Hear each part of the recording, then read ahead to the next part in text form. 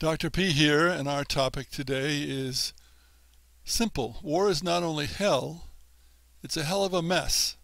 And how does that work in conjunction with games? Well, in fact, this is the second great dichotomy of wargaming.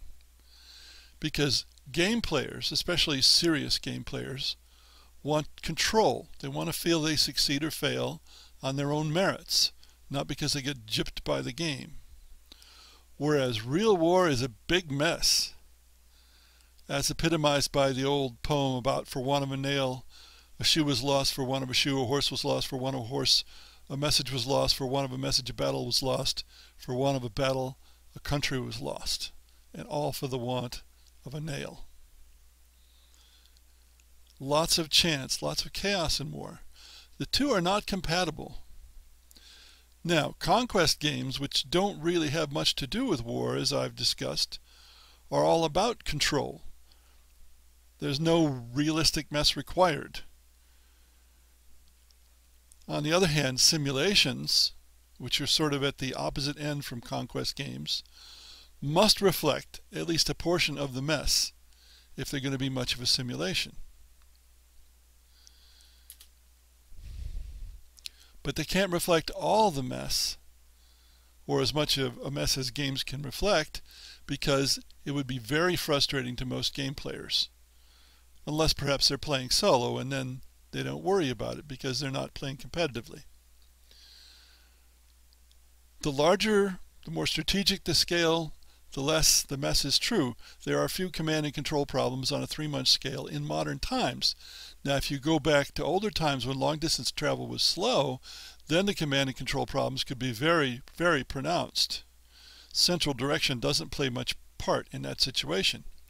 This is why the Roman Empire ultimately went to multiple Caesars and emperors, two emperors and two Caesars, to improve the reaction to invasions because it took so long for word to get from one place to another, especially along the borders which were deep inland at a time when seaborne communication was much faster than land communication.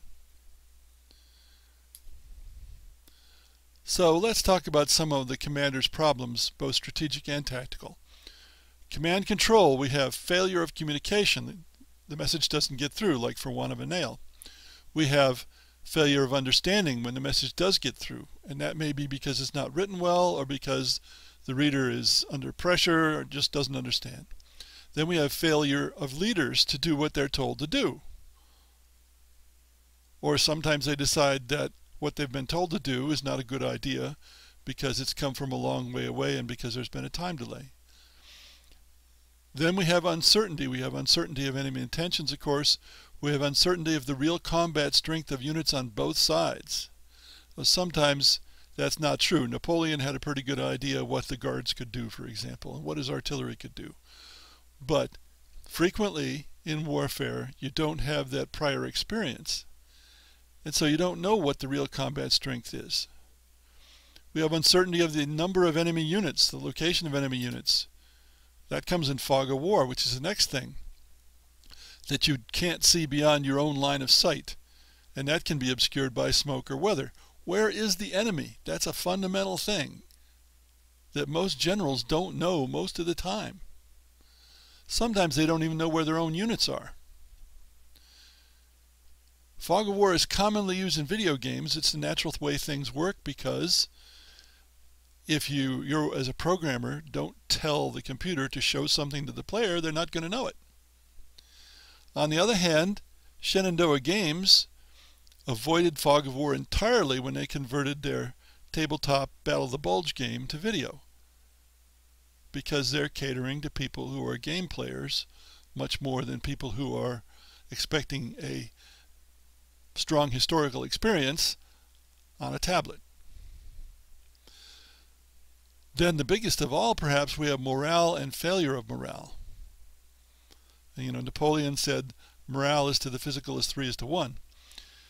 This is an especially an influence in medieval battles where there's no clear line of command in a medieval or ancient battle, when the commander died, his side usually lost the battle. Why there's that failure of line of command, I don't know, but that seems to be the way it was. Of course, there's fear of death in battles. There's fear of failure. Now, miniatures battles where you use small figures often have morale rules built in, but the result is that a chance here or a chance here can determine who wins the game. In the Battle of Hastings, William, who later became William the Conqueror, had to rally troops a couple of times because the shout went out that he had been killed because his horse had been killed. He had to find another horse, get up, and rally the troops. There was no second in command. If he had actually been killed, the Normans would have lost the battle.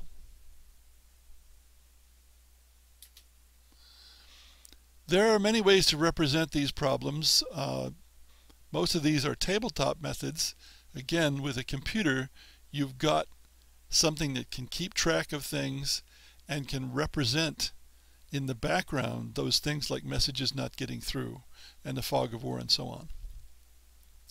So, in tabletop games, and of course all these techniques can be applied to video games because many video games are more or less tabletop games on a computer.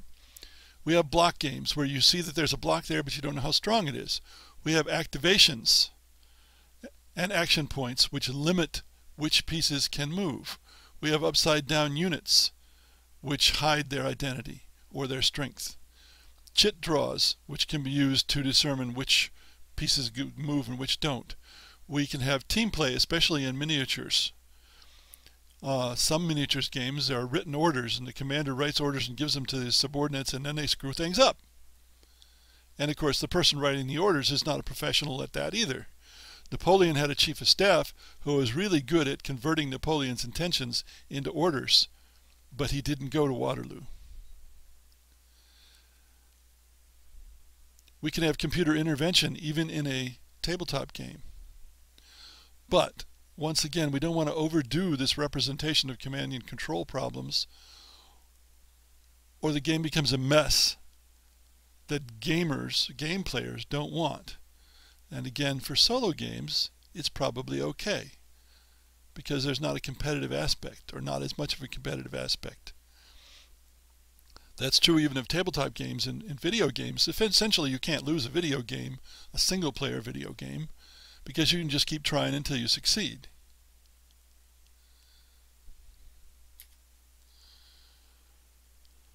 So in general, we have to say tabletop and video war games are nothing like reality. It'll never feel like the real thing. Those who emphasize you are there, you are in command, they're fooling themselves. But they wouldn't really want to be there, would they? What games are is often a representation of generalship, not of war. And that turns it, generalship is more like a game. We just remove many of the uncertainties of generalship when we make the game. Video games can come closer to the visceral feelings of warfare, but often video games are more an abstraction than a model.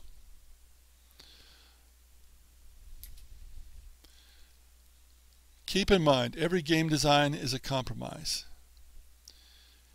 You have to compromise in some way to cope with the great dichotomies, including this one.